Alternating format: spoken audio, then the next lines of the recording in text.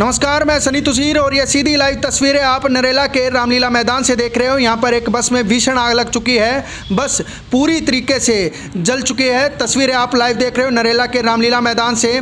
बताया जा रहा है कि इसी मैदान में इस बस के ज़रिए बच्चों को बस चलानी सिखाई जाती है। तभी बस में शॉर्ट सर्किट की वजह से आग लग जाती है। फ़िलहाल बस पूरी तरीके से जल गई है। लाइव तस्वीरें आप देख सकते हैं कि फ़िलहाल आग बुझाने के लिए दमकल विभाग को यहाँ पर बुला लिया गया है और दमकल विभाग के कर्मचारी लगातार आग बुझाने की कोशिशें यहाँ पर कर रहे हैं।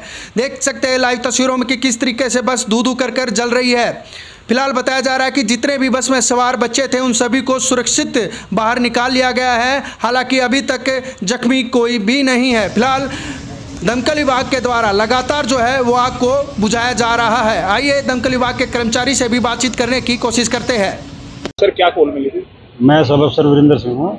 हमारे को स्टेशन में कॉल मिली कि बस में आग है रामलीला ग्राउंड के पास बस में आग है ना कि रामलीला ग्राउंड के अंदर। जी अब हम तो ढूंढते ढूंढते आना पड़ता ना ये तो धुआँ उठ रहा था इसलिए पता लग गया अभी नियरेस्ट में धुआँ नहीं उठता तो फिर पूछना पड़ता किसी कहाँ से यार बता के तो कोई कुछ है नहीं। आग लगने के कारणों का कुछ पता चला? कुछ पता नहीं चला सर कितनी गाड़ी आई है?